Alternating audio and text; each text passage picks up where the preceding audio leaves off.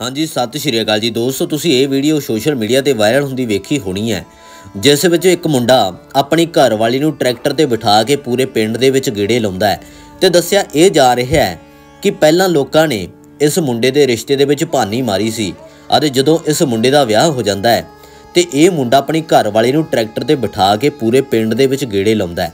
ਅਤੇ ਤੁਸੀਂ ਵੀਡੀਓ ਵਿੱਚ ਇਹ ਵੀ ਵੇਖ ਸਕਦੇ ਹੋ ਕਿ ਇਸ ਮੁੰਡੇ ਦੇ ਹੱਥ ਦੇ ਵਿੱਚ ਇੱਕ ਬੰਦੂਕ ਵੀ ਚੱਕੀ ਹੁੰਦੀ ਹੈ।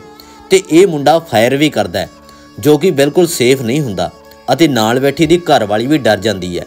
ਸੋ ਦੋਸਤੋ, ਤੁਸੀਂ ਇਸ ਵੀਡੀਓ ਬਾਰੇ ਕੀ ਕਹਿਣਾ ਚਾਹੋਗੇ ਆਪਣੇ ਸੁਝਾਅ ਕਮੈਂਟ ਬਾਕਸ ਵਿੱਚ ਜ਼ਰੂਰ ਦਿਓ ਅਤੇ ਇਹ ਵੀ ਦੱਸਿਓ ਕਿ ਅੱਜ ਕੱਲ ਜਿਹੜੇ ਇਹ ਮੁੰਡੇ ਕੰਮ ਕਰਦੇ ਨੇ, ਕੀ ਇਹ ਸਹੀ ਨੇ? ਕਿਉਂਕਿ ਇਹ ਚੀਜ਼ਾਂ ਸਾਡੇ ਵਾਸਤੇ ਬਿਲਕੁਲ ਵੀ ਸੇਫ ਨਹੀਂ ਹੁੰਦੀਆਂ।